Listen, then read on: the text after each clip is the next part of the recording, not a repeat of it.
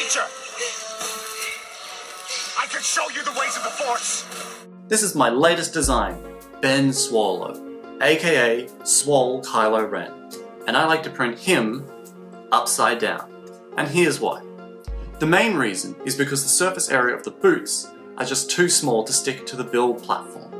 I discovered this problem early on and ended up with several boots and a lot of spaghetti.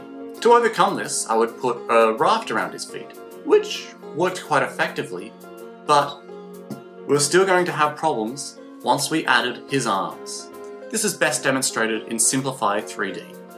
You can see that the software builds scaffolding up from the base and then begins to form the fingers and then the arms and joins back into the body. But there's no way the print is going to make it that far.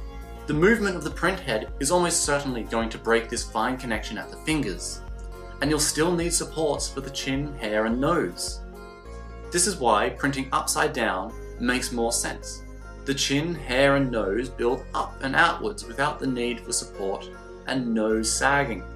Likewise, the arms and legs build from a solid trunk and out to the finer limbs. So let's test my theory, first with him standing up.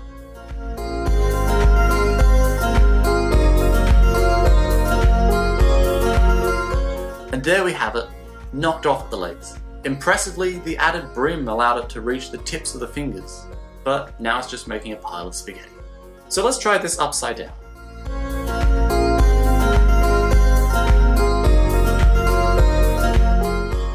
There we have it, Ben Swolo encased in scaffolding, much like Han in Carbonite.